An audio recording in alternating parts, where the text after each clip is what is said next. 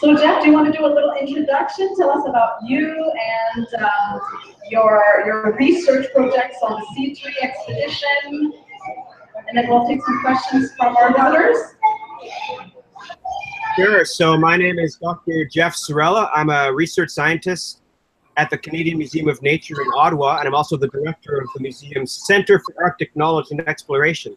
So the museum has a long-standing history of conducting research and exploring the Canadian Arctic and learning about it. So uh, what I'm doing on the Canada C3 expedition, which is a 150-day journey that started in Toronto on June 21st and is going to end in Victoria uh, at the end of October. I've just joined leg 10 of that expedition, and we left. I joined the party in community of Cambridge Bay in Western Nunavut, and uh, we're now we just we just traveled through strait south of Victoria Island and north of the mainland here in the Arctic, and we, we arrived early this morning at uh, Bay Chimo, which is a beautiful head of Bathurst Inlet here in uh, in in Nunavut. Take you out and show you where we are. So, sorry, Jeff. Um, we're having trouble hearing all of the sentence because I think Okay. cut out a little bit. So I think we have to slow down a little bit because we didn't hear where you guys were from exactly. Okay, so uh, if you can't hear, give me a hand signal or something, and I'll or I'll try to slow down. So uh, I joined leg leg ten of the expedition at Cambridge Bay in Western Nunavut. Cambridge Bay is on southeastern Victoria Island, one of the largest islands and the biggest one in the Western Canadian Arctic. And we left the community of Cambridge Bay at about 2 p.m. yesterday on this ship, the Polar Prince, which is an icebreaker. And we traveled about 16 hours, and we woke up this morning, beautiful harbor at the mouth of Bathurst Inlet. Excellent. Thank you. Thank you so much. We have to remind ourselves. Do you understand? So it's a little bit. So let- let's know that. Yes, we understand. Thank you, Jeff. So, so can, can I just take you out outside and show you uh, where we are? yes, please do. Okay, and that, let's keep the connection. So, Okay. right now I'm in the uh, I'm in the Bowhead Lab here at the front end of our ship, and this is an old workshop. This used to be a workshop when this ship was a, a working icebreaker, and uh, we turned it into a, a research laboratory. The 150 day journey of this ship, and it's it's an incredible space. This is the area where we're doing our plant research, and I'll I'll talk more about that in a few minutes. Okay. But let me just take you. Let's say this is Felicity, who is coordinating the media. One of the times with an ocean. We're live to the world. okay, so now just say something. I'm going to try and not drop the laptop into the ocean. Yeah, good idea. Sure. Can you see the uh, the land? Oh, Can you see anything? it's beautiful. It's clear, very clear. It's beautiful. So, so this is Bay Chimo, and what this is a, a community, a, a community that people no longer live in year round, but they, they come here often in the summer, sometimes in the fall, and uh, you can't really see a lot of the houses, but they're just around this corner. It's absolutely beautiful. So I'm going to try and just turn the camera a bit and show you the, the topography. You got these large mountains all around us. Is it coming through? Yes, it's looking great. and it's it's it's a really beautiful day. The forecast here it's supposed to be 14 degrees. The sun is shining. It's blue. There's no mosquitoes. It's incredible. Absolutely beautiful. Oh, fantastic. Wish we were there.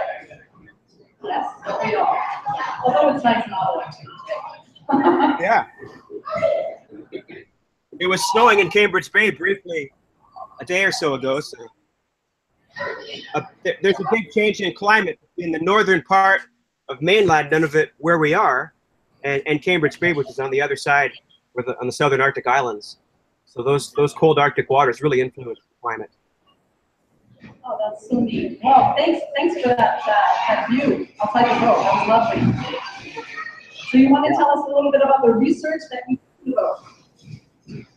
Sure. So at the museum in Ottawa, part of my research program is aimed at studying and documenting and understanding the biodiversity of Arctic plants. So there's about 800 or so species of vascular plants, plants that have water conducting in, in the whole Canadian Arctic. And the goal of this research program is to document where the species occur and what they are. So this is really, really basic research, but these are, are, are simple questions, but simple questions that we don't have comprehensive answers for. So we are trying to gather this baseline information to get a good understanding not only of the natural history of Canada, which is part of the museum's mission, but this information can contribute, hopefully will contribute to our understanding of how the uh, vegetation might change the climate warms, which it is, which is Perfect. Have you seen any changes? Because you've been in the Arctic a couple of couple of times in the last uh, couple of years? Yeah, I've been I've been on, on a number of expeditions to the Arctic, but since the goal of, of my work is to document species where, where they occur, we never go back to the same place twice. So I don't have a personal point of reference to really tell you with any confidence that I can tell you without question that there is substantial data exists that yes, vegetation is changing in the Arctic in a major way. So shrubs uh, like willows and birches are getting bigger, they're getting denser. Okay, and this is documented clearly uh, by satellite information. Um, the Arctic overall is getting greener. Again, this has been documented by satellites that pass over the Arctic every year and take spectral photographs, and then researchers can analyze those those images, and you can see how how greenness changes time. So yes, there have been major changes. Excellent. Thank you. Would you like us to turn it on to our uh, to our visitors and see if there's any questions? Yeah, maybe I'll tell you just what, what we were doing this morning. Can I do that? Yes, please do. Okay, so so this morning, like I said, we just pulled in here. We had breakfast on the ship. The uh, the, the food is fantastic. The crew is great. This is a really comfortable place to be. About about nine o'clock, we all the team here we we hopped in zodiacs and we were taken to shore. And we a lot of people spent some time uh, berry picking, crowberries, and uh, mountain cranberries, and I think we're going to maybe get a nice dessert with those tonight. Other people spend a bit of time in some kayaks and some uh, stand-up boards. I forget what they're called. Stand-up paddle boards. Other people spend a few hours hiking around. Uh, me and my colleague Leanna here, we spent the three hours madly trying to make as many plant collections as we possibly could to, to document this little area uh, as much as possible. It's very rich here. It's very diverse it's late in the growing season because uh, it's the end of August and, and, and the growing season in the Arctic is very short. So a lot of the plants were, were you know, not looking so, so green anymore, it's brown, but still collectible. So we made a ton of collections and that's when I maybe hold up for the bags that, that, that are full of our plants. This is like, I don't know, one fifth of them maybe. Uh, and there's like several different species in each of these bags uh, hours of sorting and processing to do here in the lab at some point. We're going back out this afternoon. I'll take the time to maximize the opportunity to get into these places that I, I, certainly will never return to. Let me show you one thing that was kind of interesting and that's maybe the most exciting collection for me this morning. So uh, let's see if anybody can tell me. Anybody know what this is? Can you see it? Common species in the south in, in more southern areas. Oh, know what this is. It's fireweed. It's fireweed, yeah, absolutely.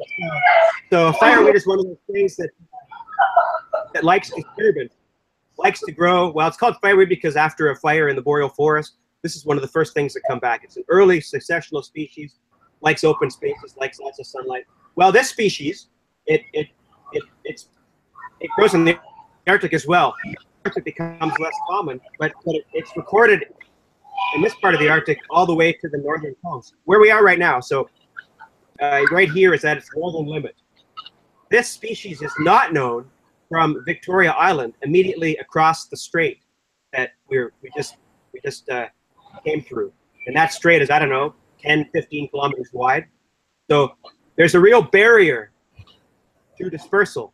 And this is one of many species of plants that, at its current northern known range limit is the northern coast uh, of the continent. So this is something that may migrate northwards as we move north. And I know it's not known from Victoria Island because we studied that southern part of Victoria Island a number of years ago. I mean, it's possible it's there and nobody's found it, but in the places that botanists have been, it's not there. And another thing that's interesting is, even though it's late in the season, this plant, there was huge stands of it. It was very big, and it's still still flowering. Yeah, that's gorgeous. So um, there's not a lot of colorful things left in flower, but this was one of the few. Get a ton of it. I'm going to put them into uh, into my plant press, and, and this is a the this is a plant press that, that includes collections I made around Cambridge Bay a couple of days ago, and they've been drying here. We have a nice heater, so things dry quickly. But but uh, specimens are all going to be put in newsprint, flattened like a sandwich into this plant press, dried, and once they're dry, we'll bring them back to the museum. We'll organize them. We'll sort them. We'll print out labels that say where we collected them, the date, the location, the habitat. Eventually, they'll get stuck onto acid-free paper. And they'll be accessioned into the National Herbarium of Canada. They'll become part of the permanent record uh, documenting biodiversity in time and space.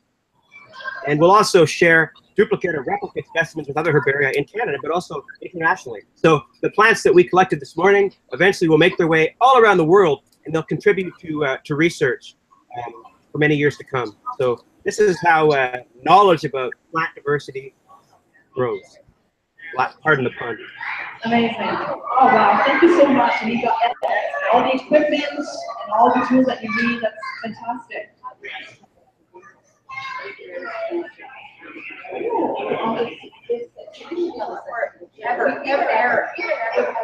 Well, Jeff, we have a question from our audience about the rarest, the rarest plant you have ever found.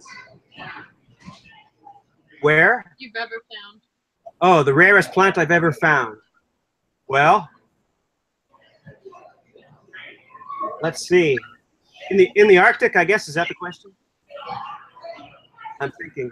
Yeah. Yes, in the Arctic. In the Arctic. Uh, so so yeah, we, we often find species that uh, that that are not very common and they're not known uh, from the area before. So I, why don't I, I found something very rare in Cambridge Bay, and I'm pretty sure it's the first record for that island. And I think it's it's a boreal species, a, a, kind of uh, name is escape me. I'll come back to me. So I found something in Cambridge Bay, just a tiny plant. There was only one of them, something that, that I knew uh, was not known from there. And something just happened in the ship here, so it's gotten a bit loud. Don't worry, you can still do your fine. It's all good. Can you hear me? Okay, I'll try and talk loud. Um, other rare plants. So on the on the Arctic islands, on Victoria Island, a couple of years ago, we found a species of orchid. We only found it in one spot. That was the first record of that orchid for that island. And it's mu- it's very common on this side, on the mainland, but but across the strait, only in, in one spot. That's one example. Wow. Very All right. We're just going to move out out onto the, the deck here. Good. Take your time.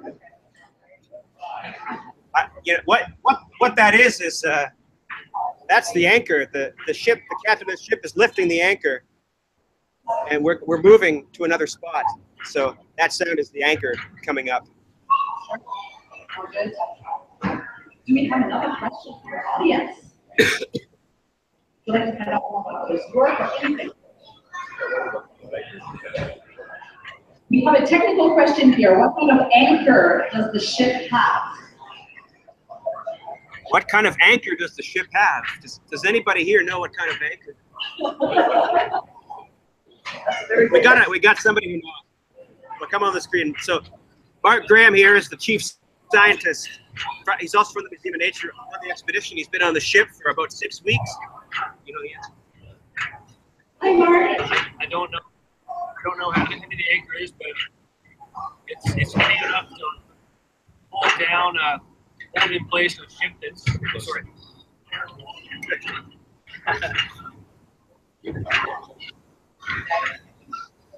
Everybody, the, the anchor the anchor holds down this uh, 250 foot long ship, gigantic uh, metal anchor. Uh, it must weigh at least a ton. And so they have they have uh, three of them, two on the front and one on the stern. Thank you so much. Yes. Any other questions? Yes, sir. I I have a question. What, um, what's the uh, Arctic superfood? Like your, uh, origin? What's the plant that you would get the most, uh, nutrition from? Yeah. Uh, can you repeat that? I, I couldn't quite catch it all. Natalie, can you repeat that? Yes, sure. The question is, in the Arctic, what could be the superfood? You know, if you're on survival mode and you really need to get the most nutrition out of a plant, which one would it be? Oh, well, first thing is if you need to survive, you don't eat plants, you eat seals or fish or Arctic char or uh, beluga. But if, if you had to survive on plants, you, you could right now because there's lots of berries. There's there's crowberries, I think I mentioned. It's late, it's fall here, so they're ripe. There's blueberries.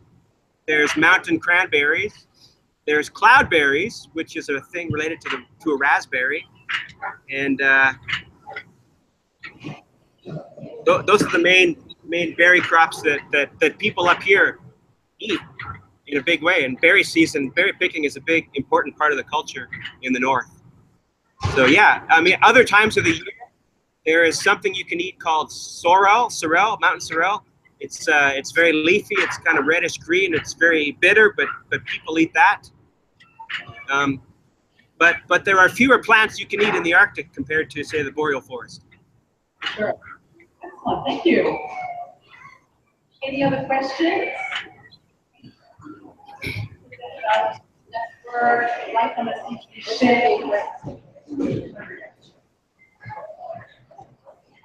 What's your favorite thing about the ship?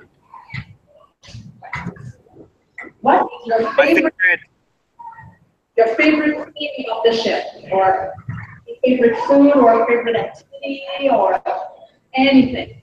Your favorite thing about being. favorite food?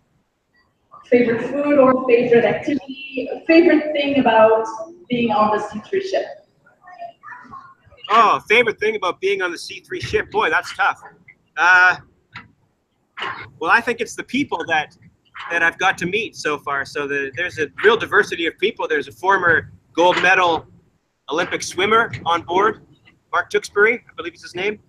There's a famous Canadian singer-songwriter named Joe Barber, who I've got to interact with and, and spend time with and meet. There's uh, people from across the north. There's people from uh, from the south. There's other scientists on board.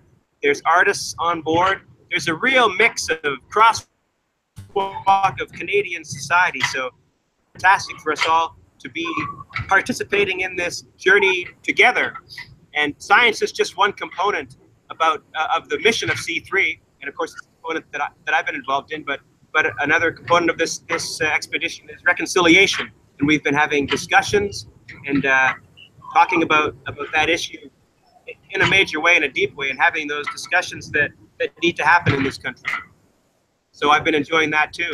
We were also very fortunate to to have two federal cabinet ministers on the ship a few days ago. Federal Minister of Transportation Marc Garneau joined us on board uh, a couple of days ago, and then he left, and then he came back because his uh, airplane couldn't make it out of town due to weather.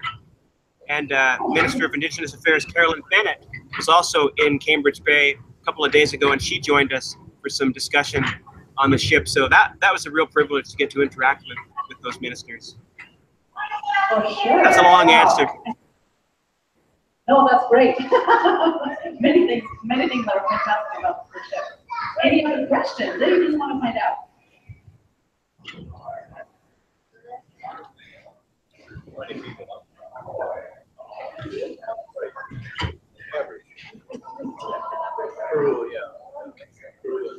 Okay, we would like to know, perfect, we would like to know how many people are on the ship currently, like the captain, the crew, the scientists, how many people on? Yeah, uh, the, the ship's capacity is 60, and I know when we left Cambridge Bay, we were at capacity, and I believe there's there's still 58 to 60 people on board. So the I think the crew is like 12 or 13 people, the, the ship crew, and then there's a number of Canada C3 staff members, people that are you know driving zodiacs, monitoring for bears. We have a physician on board. Those people that uh, that you know taking care of programming, just coordinating all the participants and then there's there must be 20 or so participants including myself other members of the science team maybe 25 so a total of 60 people it's not a huge ship first ship i've ever lived on i think it's great Okay, thank you. Any other questions? Yes, we're traveling, we're traveling west. Yeah, and then they will like, oh, yeah. All right. No, we have any more questions. No, we do have another question. That will be our.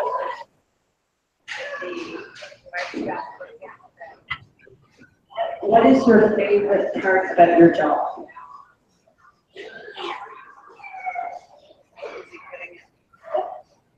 Jeff? Did we lose Jeff?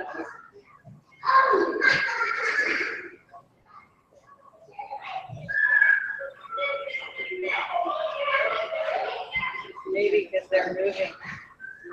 Maybe. Yeah, maybe. Oh, that's a fantastic question.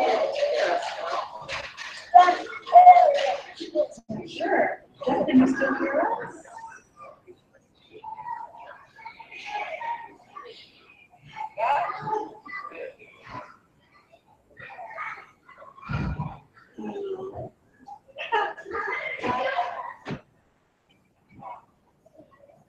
Sorry.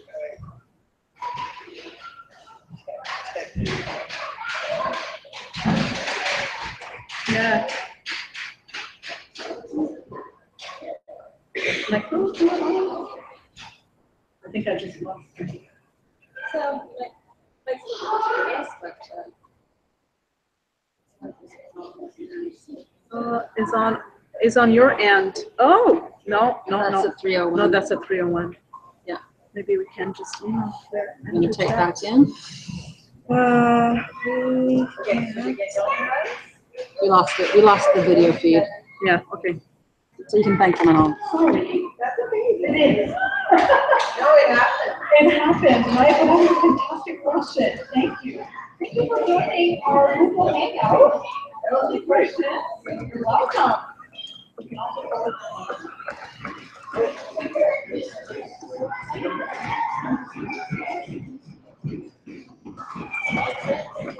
You can also go-